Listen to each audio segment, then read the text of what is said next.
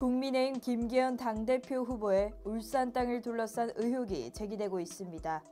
하지만 결과적으로는 해당 토지를 구입한 것은 사실이지만 투기라고 보기엔 다소 어려운 측면이 존재했습니다.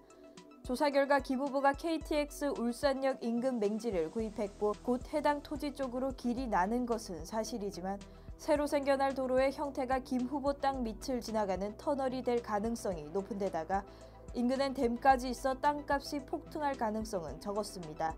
오히려 인근 땅 중에는 공시지가가 떨어진 곳도 있었습니다. 김 후보는 무려 25년 전 울산시장 전 1998년 울산광역시 울주군 언양읍 내 산지 약 3만 5천 평을 교회 지인으로부터 구입했었습니다.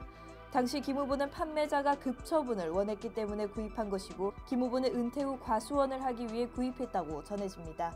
이런 얼토당토 않는 민주당과 타 후보들의 투기 의혹에 국민의힘 선관위는 보도자료를 통해 이번 전당대회에 참여한 후보자들은 제대로 검증하고 치열하게 토론하되 깨끗하게 경쟁할 의무가 있다며 최근 전당대회 열기가 과열되며 후보 간 근거 없는 비방 또는 일부 후보의 지나친 언행으로 국민들과 당원 여러분께 우려를 끼치고 있어 깊은 유감을 표한다고 전했습니다.